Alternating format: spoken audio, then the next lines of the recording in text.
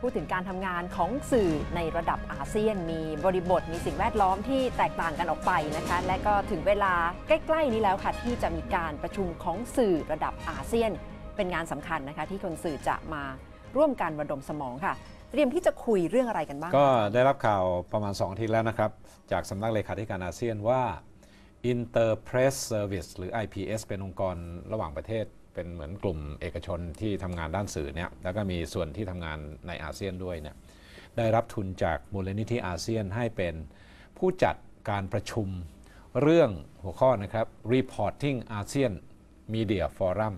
ก็คือเวทีที่สื่อในอาเซียนจะมาประชุมกันใช้กรุงเทพด้วยเป็นเป็นที่ประชุม ก็คือที่โรงแรมสุโกศลมั้งเท่าที่ผมเห็นใบสมัครเขานะครับว่าทุกคนจะไปพักที่นั่นใครอยากจะไปร่วมประชุมใน 10 ชาติ ก็ต้อง register ลงทะเบียนจ่ายเงินค่าที่พักอะไรต่างๆ แต่เราอยู่เมืองไทยเราก็เรียกว่าไม่ต้องเสียตังค์มากมายนะก็นักไปข่าวร่วมก็น่าจะไประชุมด้ร่วมกันได้นะอ่าก็คือวันที่ 31 มีนาถึง 2 เมษายนเนี่ยเอ่อหัวข้อของเขาก็คือว่า reporting ASEAN นะฮะ ก็คือปัญหาของสื่อมวลชนในอาเซียนว่าควรจะรายงานข่าวกันอย่างไรในงานข่าวเกี่ยวกับอ่าอาเซียนเนี่ยนะคะไอ้เรื่องเนี้ยเอ่อตั้งแต่อาเซียนยังไม่ได้คึกคักเหมือนสมัยนี้สมัยที่ลุงยังเป็นหนุ่มอยู่นะ ผมก็ report อาเซียนเยอะนะในสมัยที่เรา ถือว่าเป็นยุคแรกๆเออเป็นยุคแรกฮะเป็นปีผู้บุกเบิก2528 29เอ่อ30 อะไรพวกเนี้ยเป็นยุคที่ผมก็อยากจะทำข่าวที่มันแปลกไปกว่าที่ซื้อจากฝรั่งมันข่าวที่อยู่ในละแวกบ้านย่านอาเซียน ผมก็ไปเอง การยึดอำนาจล้มประธานาธิบดีมาร์กอส แล้วก็อาคีโนขึ้นมา อะไรที่มะนิลาเนี่ยผมก็อยู่ที่นั่นอาทิตย์หนึ่งเลย ถือว่าเป็นครั้งแรก เพราะฉะนั้นการรายงานข่าวอาเซียนเนี่ยมันตัวใครตัวมัน มีมุมมองอะไรก็มีมุมมองไป แต่เมื่อก่อนเนี่ยมันไม่ใช่ข่าวอาเซียนนะมันเป็นข่าวที่เกิดขึ้นในประเทศต่างๆ ในอาเซียนที่ผมสนใจเท่านั้นเอง แต่ว่าประเด็นที่อ่อ Interpress Service ซึ่งเป็นเจ้าภาพเป็นคนจัดเนี่ยแล้วก็ ทางมูลนิธิอาเซียนของของ10ชาติเนี่ยให้เงินเขาเนี่ยจัดที่กรุงเทพเนี่ยเขาจะดูประเด็นผู้สื่อข่าว 10 ชาติเนี่ยมีปัญหาอะไรในการรายงานข่าวในช่วงเวลาที่ผ่านมาเขาก็เลยให้ทุนเขาเรียกว่า fellowship ก็คือทุนสำหรับสื่อมวลชนในอาเซียนที่สมัครไปรุ่นที่ 1 ไปดูงานไปประชุมสัมมนาเป็นระยะระยะ แล้วตอนนี้รับสมัครรุ่น 2นั้นพวกเราที่เป็นสื่อมวลชนไทย ยังหนุ่มยังสาวอยู่เนี่ยสมัครเข้าไปที่เว็บไซต์ของเขาก็คือ asiannews.net เท่าที่ผมดูในเว็บไซต์เขานะครับเอ่อเขาก็จะมีข่าวต่างๆเอ่อที่เกี่ยวข้องกับอาเซียน และข่าวที่เกี่ยวข้องปัญหาของอาเซียน แต่ผมชอบภาษาที่ใช้ตอนที่ไปประชุมที่สิงคโปร์เขาบอกว่าเอ่อ how to make ASEAN reporting sexier ให้ดูน่าสนใจก็ดูทำเซ็กซี่มากขึ้น เออ ทำใช่ทำไงจะให้การรายงานข่าวอาเซียนเนี่ยมันเซ็กซี่ เซ็กซี่ในที่นี้ไม่ใช่เรื่องเซ็กส์แปลว่าให้มันมีสีสันให้มันจ้าบให้มันสนุกให้มันน่าดูนะครับสรุปก็คืออย่างนี้ครับ ข่าวอาเซียนมันไม่น่าสนใจ ทุกคนรู้สึกว่าเบื่อเบื่อประชุมทรงประชุมใช่ไหมปีหนึ่งประชุมกันประมาณ2,000 ครั้งอะ่ะแล้วก็ประชุมเล็กประชุมน้อย แล้วก็แถลง ถ้ามีเหตุการณ์ใหญ่เรียกว่ามีอีเวนต์ใหญ่ก็คือการประชุมสุดยอดเออพวกสื่อมวลชนในอาเซียนก็สรุปว่าถ้ามีอีเวนต์หรือเหตุการณ์ใหญ่จึงจะไปกัน แต่พอไปทำรายงานข่าวการประชุมสุดยอด พบว่ามันก็เซ็งเช่นเดียวกัน มันไม่เซ็กซี่ ก็คือว่ามันเซ็ง มันปัญหาคล้ายกันคือ ถ้าไปงานแบบเนี้ยเราไม่ได้ทำอะไรเลยครับ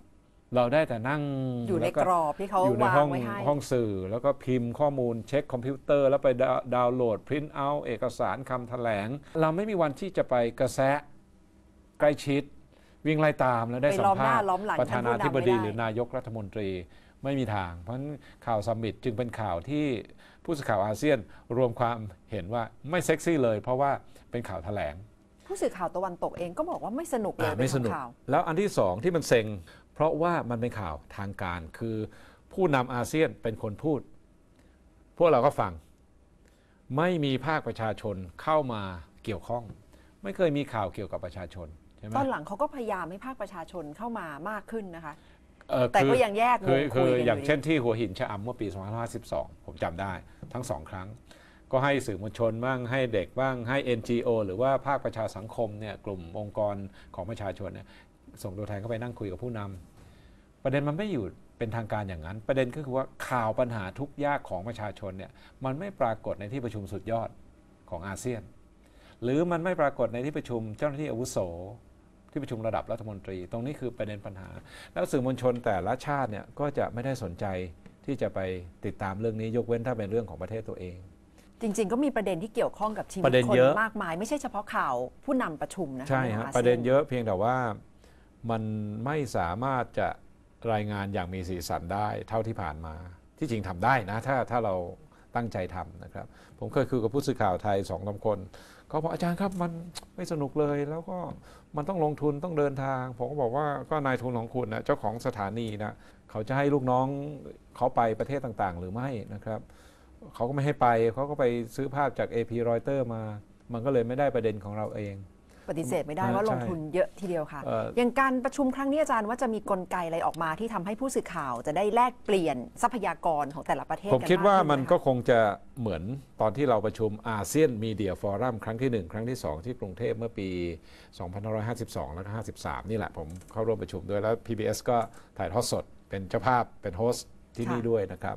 ก็จะออกมาประเด็น ผมคิดว่าจะเหมือนเดิม เพราะว่าคนรุ่นเก่าจากไปคนรุ่นใหม่ก็มาเจอประเด็นเดิมนะครับก็คือมาแลกเปลี่ยนตอนนี้มาคุยผมคิดว่าถ้าจะมันจะอยู่อย่างเดิม แล้วก็บ่นกันอย่างเดิมเนี่ยมันไม่ได้ ผมก็อยากให้สื่อมวลชนไทยเนี่ยเข้าไปกันให้เยอะๆ แล้วก็เห็นปัญหาก็ให้พูด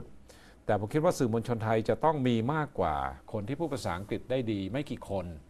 ซึ่งปกติถ้าประชุมสื่อระดับสากล หรือระดับอาเซียนหรือระดับระหว่างประเทศเนี่ยเราก็จะมีคุณนัฐาก็ไปบ้างใช่ไหม หลักๆก็จะเป็นคุณเทพชัยยอง แล้วก็จะมีคุณพิชายชื่นสุขสวัสดิ์บางกอกโพสต์ มีคุณกวีจงกิจถาวรเนชั่น คนพวกนี้ภาษาอังกฤษดี แล้วก็ความคิดอ่านลึกใช่ไหมได้แลกเปลี่ยนในระดับแล้วมันก็ภูภาเหลือไม่กี่บ่ยคนไงคุณคุณสุทธิชัยหยุ่นก็อายุมาก มันไม่ใช่เวลาของเราละผมคิดว่าเป็นรุ่นหนุ่มสาวจะต้องหาคนภาษาดีๆ ความคิดอ่านลึกๆ ขึ้นเวทีมากๆ หรือว่ายกมือบ่อยๆ เพราะว่าสื่อเมืองไทยน่ะจำนวนปริมาณเยอะมาก คนที่จะกล้าพูด ในที่ประชุมระหว่างประเทศมันไม่ค่อยมีนะครับนะฮะเพราะติดขัดที่ภาษา ผมอยากให้สรุปให้ได้ว่าเราจะทำอะไรกันต่อไปนะครับคือไม่ใช่บ่นกันอย่างนี้ทุกครั้งค่ะเป็นอีกหนึ่งความเคลื่อนไหวในวงการสื่อสารมวลชนนะคะ ซึ่งก็ปฏิเสธไม่ได้นะคะว่าเป็นอีกหนึ่งองค์คาพยพที่สำคัญของการรายงานของการสร้างความตื่นรู้ กับการเดินหน้าเข้าสู่ประชาคมอาเซียนอย่างเป็นทางการอย่างเต็มรูปแบบนะคะ วันนี้ขอบพระคุณอาจารย์มากค่ะสวัสดีครับ